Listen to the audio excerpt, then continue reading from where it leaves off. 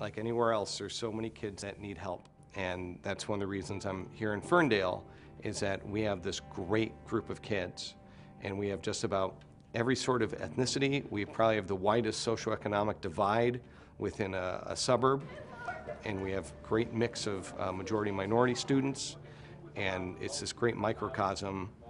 If we can make it work here, you can make it work anywhere in the country.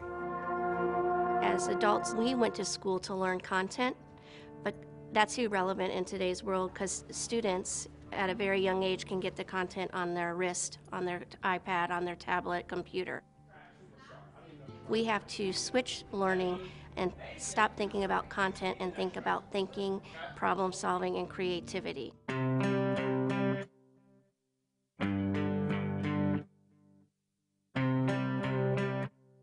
It's such a good opportunity for Ferndale because, you know, going here for four years, we don't usually get these kind of opportunities.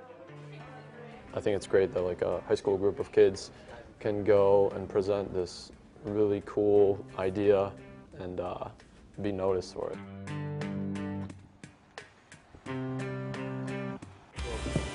How are you? Marcus, thank you for I'm being Marcus. in Nice to meet you.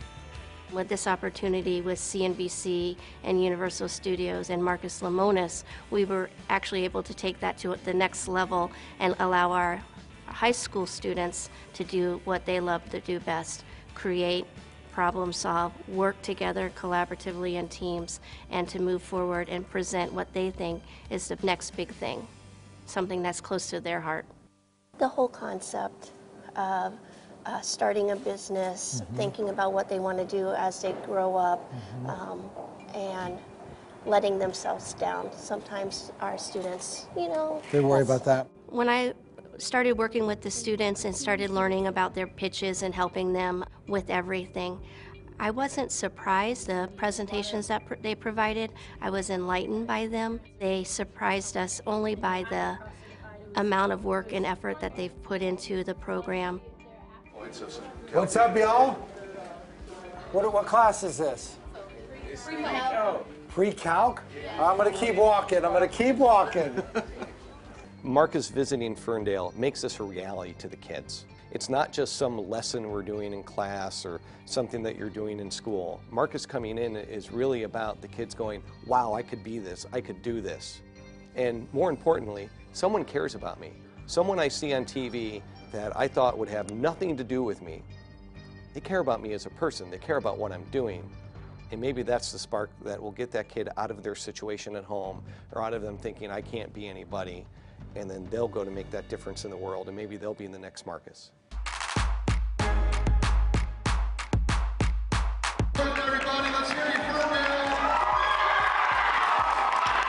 What's the business? It's a skate park slash gym slash uh, arcade.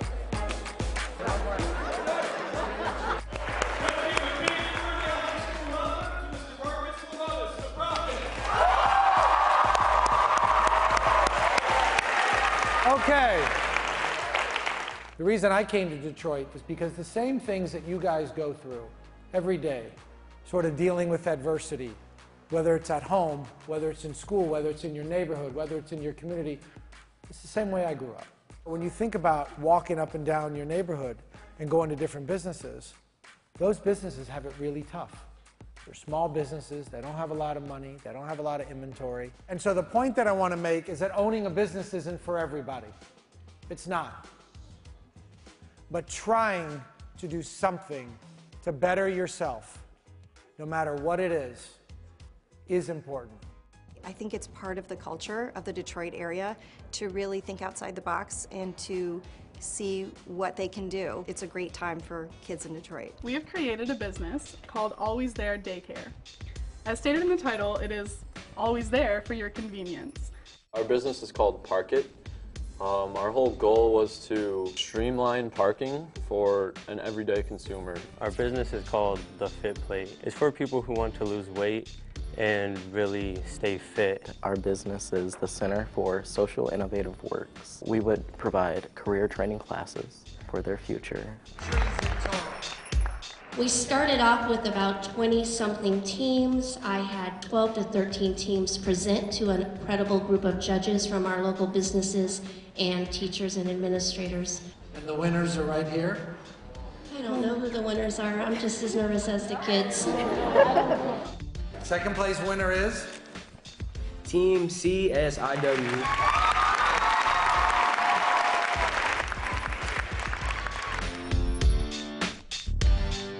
First place winner is Team Parky.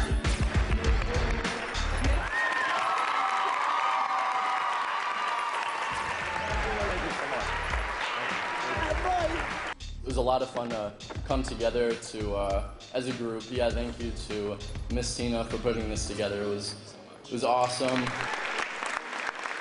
I don't know if you guys have seen my show, but I'm 100% in charge, right? Has anybody ever seen that? And so I said, well, wouldn't it be cool if we could like do something really different and maybe go somewhere, like on a trip, like for like five days? So you guys are going to Universal Orlando for five days. You too. Okay? The more I've lived here, the more you start realizing people believe in the people of Detroit. They moved here to make a difference, or they stayed here to make a difference, and it was about the community. The community in Ferndale is phenomenal. Everyone is so welcoming. They're so excited when a small business comes in. I think we definitely want to expand in this area. I have no interest of you know going outside of Detroit. We'll definitely be here for for the long haul. I also wanted to do something that I think would benefit uh, the school. So, on behalf of uh, the Profit and CNBC, we're presenting a check to Ferndale High School for $10,000. You got it. Thank you. I would like to believe that students will be part of revitalizing this area. There's been a lot of students who have come through the school in my years here that have proven to do a lot beyond the school walls. Don't be nervous. Don't be nervous. What I would like to say to Marcus Lemonis, the Profit, CNBC, and Universal Studios is thank you.